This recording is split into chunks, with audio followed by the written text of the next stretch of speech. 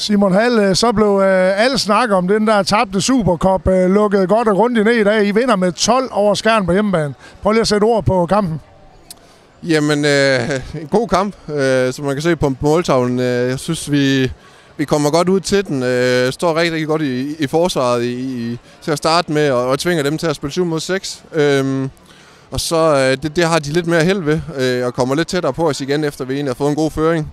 Øhm, men så synes jeg, at vi viser også i anden halvleg, at, øh, at vi godt kan trække fra, når det, når det gælder. Øh, og jeg synes egentlig, at der var rigtig, rigtig mange gode ting, mange spillere, der kommer ind og, og bidrager og gør det godt. Så virkelig, virkelig en dejlig følelse at stå med nu.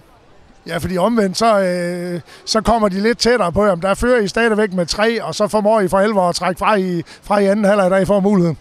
Ja, ja vi, vi når lige at lave på fejl, lidt ligesom øh, i, i Supercoppen. Her får vi så minimeret det, øh, og, og det er det, vi, vi gerne skulle kunne gøre, når vi lige er inde i sådan en periode.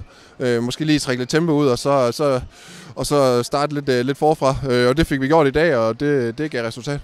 De der perioder, ligesom i Supercoppen, hvor, hvor I ligesom smider øh, en føring og så videre, er det noget, der kan, der kan bekymre dig? Altså, jeg tænker, I får det lidt stoppet i dag, men kan det bekymre dig, at I nogle gange får de der perioder?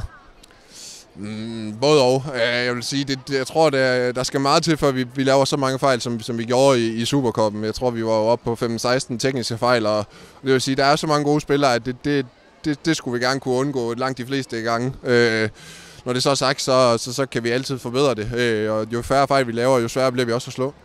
Og vel masser af ting, I kan tage med i dag. I spiller bredt også, og vinder alligevel med 12.